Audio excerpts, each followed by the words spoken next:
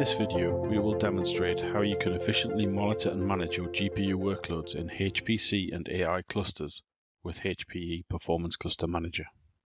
HPE Performance Cluster Manager offers integration with third-party tools, so you can use just one software to manage any workload.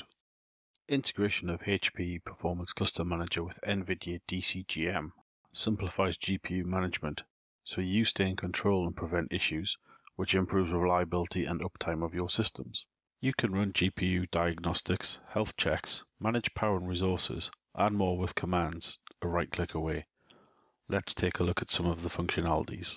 First, let me show you how HPE Performance Cluster Manager aggregates health metrics and alerts, so you don't have to plow through overwhelming amounts of gathered diagnostic data, which system administrators often struggle to make sense of. The current view shows metrics for CPU and memory. By right-clicking, you can see the list of available metrics. To enable the NVIDIA metrics, you need to select the Monitor menu and then platform-specific metrics. When the dialog appears, select NVIDIA GPU from the drop-down menu, then select Enable, then Close. This change requires monitoring to be reloaded, select Yes, and then wait a few moments. When you right-click now, there are GPU-specific metrics available. Select from the right-hand column to display in this group view, GPU load, GPU mem util, and GPU power usage. Then select OK. When the view is changed, the same metrics are shown in the bar graph view, table view, and time view. Hovering the mouse over the top half of the time view cylinder shows the metrics for the GPUs attached to node graphics 0. The bottom half shows the same for graphics 1.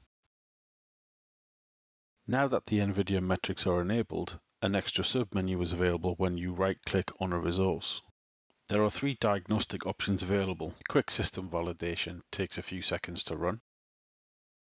The extended system validation takes a few minutes to run and also includes the quick system validation. The system hardware validation includes the extended system validation and quick system validation and takes a lot longer to run. Health check shows if any errors have occurred since the watches were turned on. In the example, you can see two errors with the NVLink system for Graphics 1, and on the right side you can see the errors don't exist for Graphics 0. Config show displays the current configuration information. You can see here there are different GPU types. By expanding the output, you can see the different specifications. GPU device information shows the GPU types, the PCI bus ID, and the device unique identifier. GPU topology shows which NUMA domain the GPUs are attached to.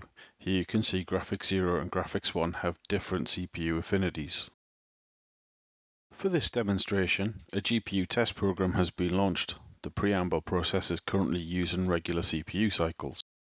The program then starts the GPU portion of the test, and you can see here the resources being utilized.